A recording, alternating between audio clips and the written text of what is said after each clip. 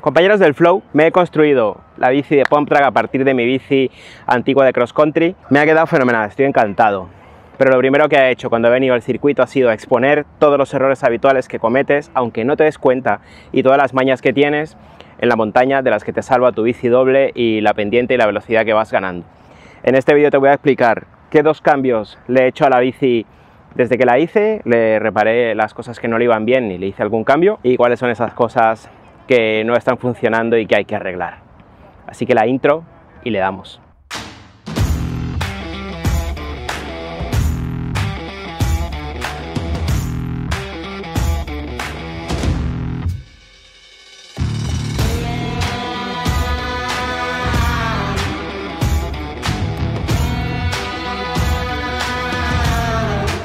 Le he cambiado dos cosas a la bici. Lo primero era que me saltaba la cadena, me volví loco, le compré un núcleo. Cuando monté el núcleo, inmediatamente que salí a la calle, saltaba otra vez la cadena y dije, no puede ser. Digo, no, no, no, no. Y empecé a revisar la bici. Era muy complicado porque, claro, cuando le daba suave con la rueda hacia arriba, todo giraba, todo iba perfecto. Será el tensor, ¿Qué será? Me busqué una manera de ponerla al revés y que hiciera fuerza, que estuviera en contacto con el suelo y hacerle fuerza al revés con las manos y me di cuenta que el piñón que traía del kit conversor de single speed eh, tenía los dientes muy largos y cuando iba a entrar la cadena, se, eh, en vez de entrar en el agujero, se quedaba en la unión de los eslabones y saltaba. Busqué una piñonera que tenía de 11 velocidades guardadas y fui probando uno más grande, otro más tal, porque claro, tenía que venir en bici y estaba durísima la bici para venir. Cuando probé eh, el primero que era de 19, me di cuenta que no podía sacarle velocidad a la bici una vez estaba dentro del, del pump track si quería dar algún, algún pedal, con lo cual tuve que optar de momento por un 15. Me salta a veces cuando le doy mucho torque, pero bueno, ya veré cómo lo soluciono. De momento esto no me está dando ningún problema. También acorté la cadena dos eslabones, con lo cual está un poco más tensa, va mejor alrededor del piñón, por ahí voy a ir voy a ir jugando probablemente compro una cadena de una sola marcha o sea que no está hecha para cambiar y pues compré otro piñón, probablemente esto me soluciona el problema. Y lo segundo que he hecho ha sido cambiar la cubierta delantera por una cubierta guarra, lo voy a decir, guarra del Decathlon, que me ha costado 13 euros, que no es de Pontra, que es una cubierta de mountain bike de 26 2.0, pero que está hecha para terreno seco y que de momento me viene súper bien. La bici hay que configurarla con las cubiertas súper duras para que corra, con la suspensión delantera súper dura para que no no amortigue cuando vas en el Pontrack y pueda transmitir toda la fuerza y eso es lo que estoy haciendo.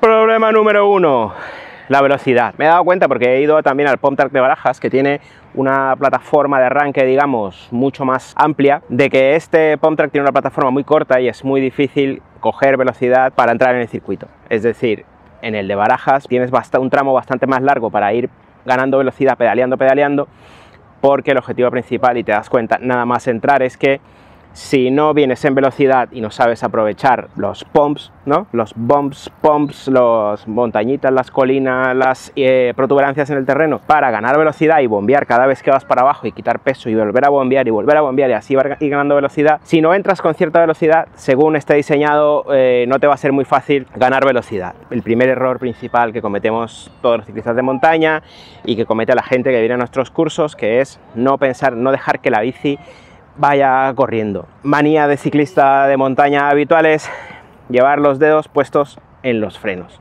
Y este es un circuito ideal para ir con las manos empuñado, con las manos en los puños.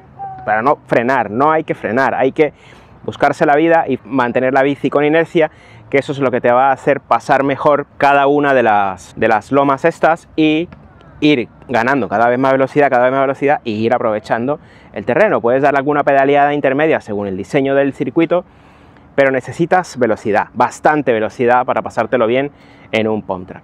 Segundo error de principiante de pump track, pensar que esto es un paseo por el parque.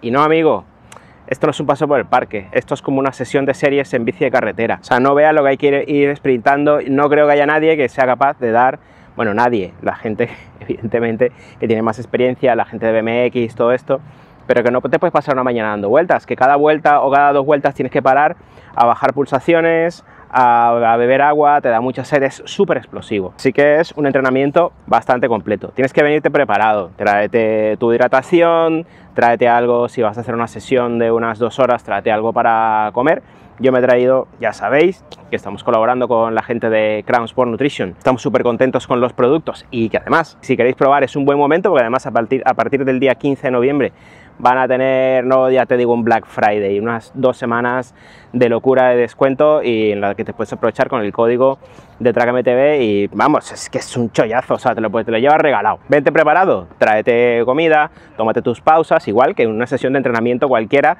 de series, porque te digo que cada vez que das una vuelta aquí, es una serie, o sea, notas cómo te va bajando la, como no puedes mantener la intensidad a medida que vas avanzando en las vueltas que vas dando y hay que ir parando.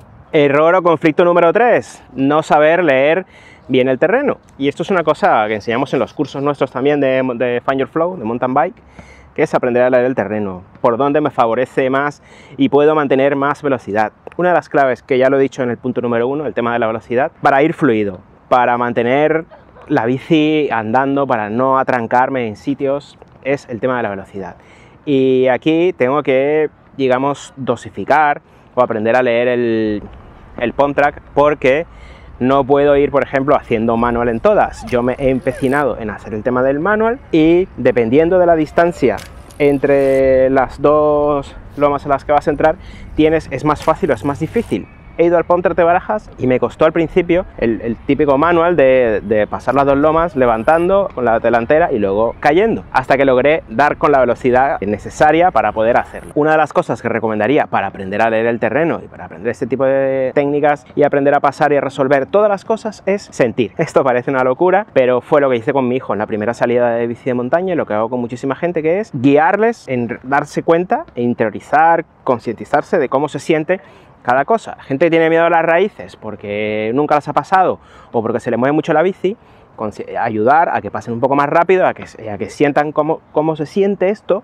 vale, y ya sepan, cada vez que va a pasar por raíces, se va a sentir así la bici. Si voy más rápido, se siente menos, si voy más lento, me atranco. Cada vez que voy por un rock garden, se va a sentir así la bici. Es fundamental aquí aprender a sentir, saber qué voy a sentir cada vez que paso una loma, cómo tengo que comportarme cada vez que paso esa loma, mirando siempre delante. Aquí, que no hay obstáculos, que no hay tantas cosas que resolver, digamos con la mirada, puedo aprender a mirar más lejos. Esto me va a favorecer también en el paso por las curvas, entrar alto y salir bajo, porque si entro bajo, me echa la curva hacia arriba y me termino saliendo de la curva de los, de los me termino yendo hacia la plataforma. Hay que entrar alto para ganar la velocidad bajando, ayudarse a, que la gravedad nos favorezca mantener la inercia. Vi un vídeo de, de Fabián Barel y el tío dice que cada senda, cada recorrido, cada trail, cada circuito tiene su propio flow. Y me he dado cuenta, es, es, el sitio en el que más me he dado cuenta en los Pontrack. Este tiene un flow diferente que el de Barajas porque la distancia entre las lomas es diferente. Cada una se siente diferente, cada una necesita una velocidad diferente, una, una destreza diferente, un movimiento diferente. Y esto es lo que hay que ir aprendiendo a leer. A medida que te lo vas leyendo, te va saliendo mejor. Amigos, una clave y un error que cometen todos los ciclistas, que lo digo siempre en los cursos, es no comportarse en la bicicleta como animales bípedos, es decir, no ir plantado, plantado con los pies metiendo todo el peso del cuerpo en los pies. Y esto aquí se nota una barbaridad tanto para bombear cuando bajas como para despegar cuando vas subiendo. Si no llevas los pies bien plantados y vas empujando la bici y metiendo peso con los pies, aunque metas con las manos también, porque cuando, cuando pasa la primera tienes que empujar la bici con las manos, pero la fuerza, la velocidad, toda la clave de esto es cuando va a la trasera y empujas, te pones en cunclillas, dobla las piernas y empujas fuerte con los pies, y lo mismo, cuando vas a despegar tienes que empujar fuerte hacia adelante la bici con los pies para poder despegar y para hacer el manual este, también cuando la bici se levanta, antes de que la delantera te vaya a bajar, tienes que hacer un movimiento como si estuvieras de pie. El endurero va siempre detrás, así, atrás. Esto no, hay que ir así. Posición bípeda, ¿vale? Un poco flexionado, pero posición bípeda. ¿Qué pasa? Cuando la bici me va a levantar, en ese momento vengo levantando y no, pero no hago hacia atrás así, sino que hago con el cuerpo así, voy a empujar con los pies a la salida y se va a quedar levantada, va a pasar y inmediatamente voy a empujar con las manos otra vez, me voy a poner en posición y la bici va a caer. Los pies en las curvas, los pies en todo. Siempre, siempre, siempre los pies.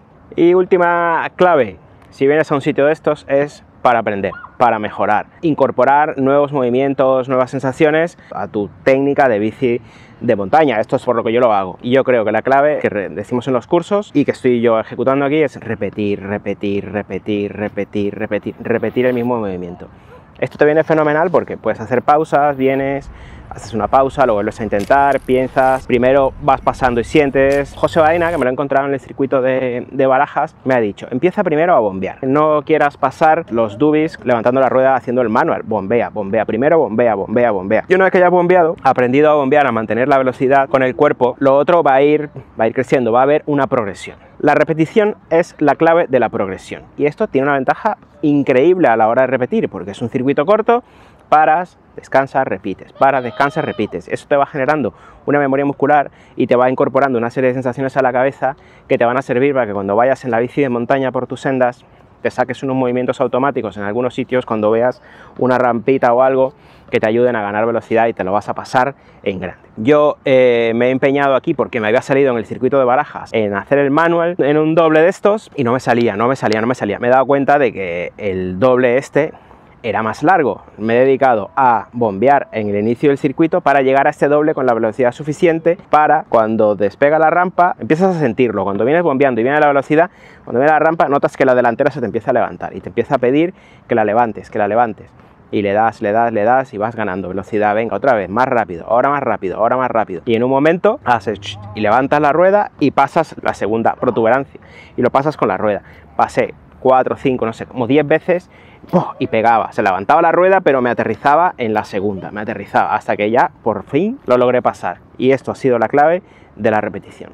Compañeros del Flow, aquí está la Find Flow One, bici de Pontrack. Ya no me caben más bicis en casa, mi mujer me va a echar, me va a decir que me vaya a dormir con las bicis. Pero voy a seguir trabajando esto, porque creo que me va a ayudar mucho. Uno de los objetivos que me propuse hace, yo creo que un par de años o más, fue pues mejorar mi, mi, estilo. Ya estoy pillando más aire, estoy saltando más, estoy venciendo el miedo que me quedó de cuando me rompí la espalda con el tema de los cortados. De momento no voy a hacer más vídeos de estos, pero voy a visitar Pump Tracks con mi bici, tengo dos días a la semana que tengo una hora, una hora y media ahí libre por la tarde que tengo que hacer una cosa de pausa y esto lo voy a usar para eso y os iré dando parte. Haré un vídeo más adelante, tema de Pontrack, de las cosas claves en el Pontrack que puedes usar y para las que puedes ir a mejorar con miras a tu técnica de mountain bike. Yo lo iré contando. Ya sabéis, cada mes hacemos una tirada de camisetas. Este año quedan dos cursos en el último trimestre, en noviembre, uno en La Rioja y otro en Castelldefels. Y tenéis ese código de descuento fenomenal de las barritas de Crowns por Nutrition